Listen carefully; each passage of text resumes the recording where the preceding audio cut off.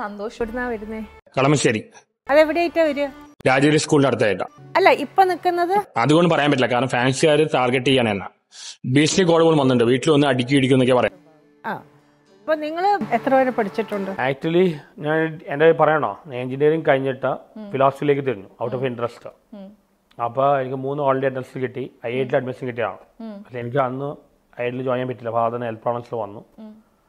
F അപ്പോൾ ഞാനിപ്പോൾ മഹാരാഷ്ട്രയിലെ ബി എഡ് ചെയ്യുന്നു. എവിടെ വെച്ചാ തെറ്റുകൾ പറ്റിപ്പോയത്? എന്താ എന്താണ് നിങ്ങളുടെ ജീവിതത്തിലെ പ്രശ്നം ഉണ്ടായത്? അല്ല ഞാൻ ഇതൊന്നും ഞാൻ മണപ്പൂരും ചെയ്തതല്ല എല്ലാം മീഡിയ ഉണ്ടാക്കുകയും പല ഇതിൽ വന്നാണ് പല കാരണങ്ങളും ഉണ്ടാവുമായിരിക്കാം നിങ്ങൾക്ക് അയാളെ സ്നേഹിച്ചത്. പക്ഷെ ആ സ്നേഹത്തിന്റെ പേരിൽ തകർത്തത് നിങ്ങൾ എത്ര പേരുടെ ജീവിതമാണ്? ഭയങ്കര ബൊമ്പാഡിങ് ക്വസ്റ്റ്യൻസ് ആണല്ലോ ആദ്യം ഇങ്ങനെ ഒരു ഇന്റർവ്യൂ അറ്റൻഡ് ചെയ്യുന്ന. ഇതൊന്നും ഞാൻ മനഃപൂർവം ചെയ്തതല്ല ഞാൻ അത്രയും ചിന്തിച്ചില്ല. അത്രയും ഞാൻ ചിന്തിച്ചില്ല. എന്റെ മിസ്റ്റേക്കാണ് ഏതായാലും തെറ്റുകൾ പറ്റിപ്പോയി. നല്ല നിലയ്ക്ക് വളരെ നന്നായിട്ട് ജീവിക്കണം എന്ന് ഞാൻ ആഗ്രഹിക്കുന്നു.